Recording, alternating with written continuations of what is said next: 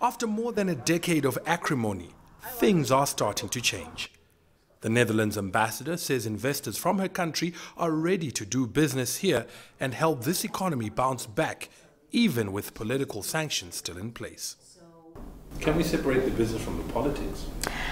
Um, not completely, of course. You know, business and politics, they, they touch upon each other.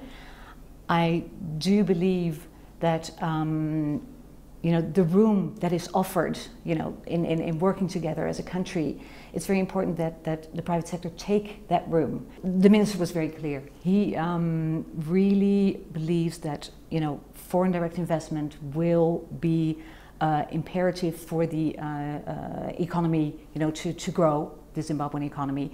Um, and he is uh, very willing, uh, you know, to do the things that are necessary. That includes creating a conducive investment climate.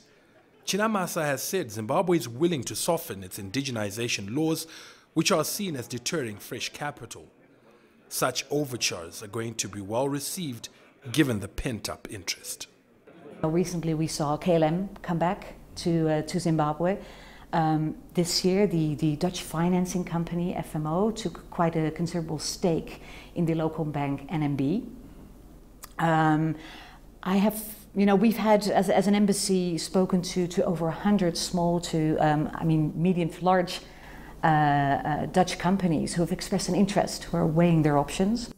Earlier this month, there were media reports that France could be willing to forgive Zimbabwe's debt.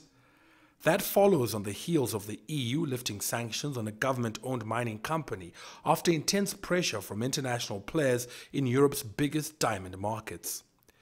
The EU is due to review its restrictions in February next year.